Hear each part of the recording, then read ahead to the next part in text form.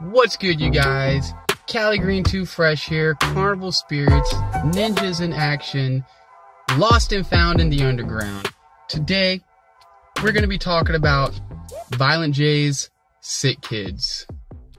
So, towards the end of 2015, Violent J, Psychopathic Records held the Rassle Rap Charity Event.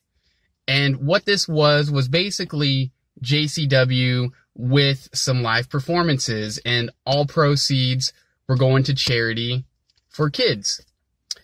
And, um, pretty much JCW doesn't really pull a big draw.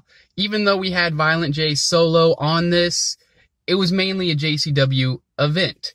And you know violent j didn't have a full set. Um, just a lot of ninjas didn't come out. And ultimately jay and psychopathic weren't really happy with the money that they were able to donate. They wanted to donate more money.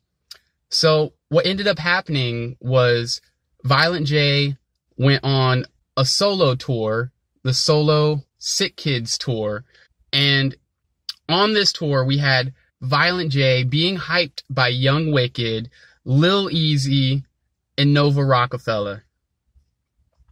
Now, this was initially released as an exclusive, but made its way to Hatchet Gear. Um, sick as fuck. You got the track Sick Kidz, which was produced by Young Wicked.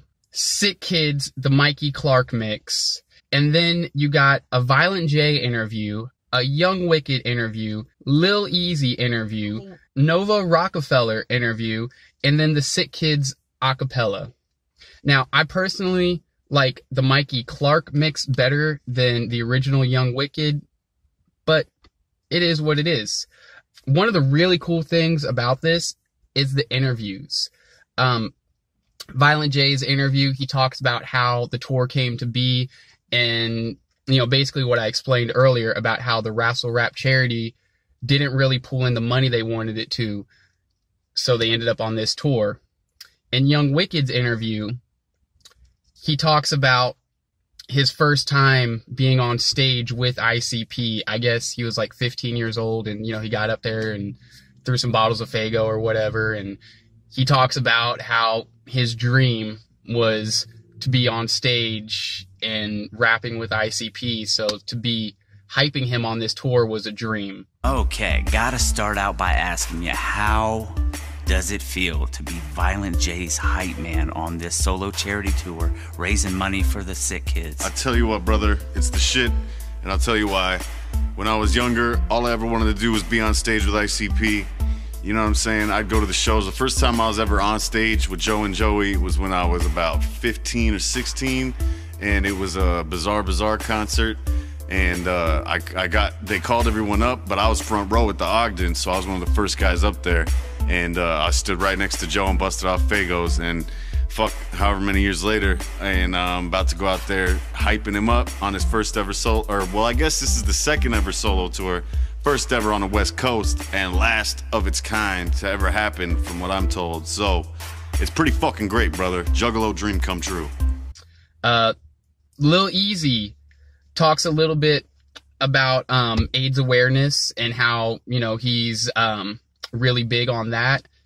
You know, being Lil Eazy, his dad having died of AIDS, it makes sense. And um, he also talks about an album that was being worked on at the time, which was, um, I believe he said the Yellow Brick Road to Compton is what it was called. I'm gonna check that out here in a little bit, but um, Nova Rockafella talks about how she was um, having issues writing for this because she usually does fun tracks and this was more serious. And um, she talks about how she did a shitty recording and sent it to Violent J, you know, just as a demo, and Jay ended up loving it and used it. Um, all the interviews they talk about the tour and what the tour means to them. So that shit's dope. You know, this is a nice little fresh piece of fucking Hatchet history. If you don't have it in your collection, you should definitely pick it the fuck up. But um anyways, I guess that's about it. I'm Cali Green Too Fresh, lost and found in the underground. Always keep it wicked fresh, motherfuckers. Deuces. Whoop whoop.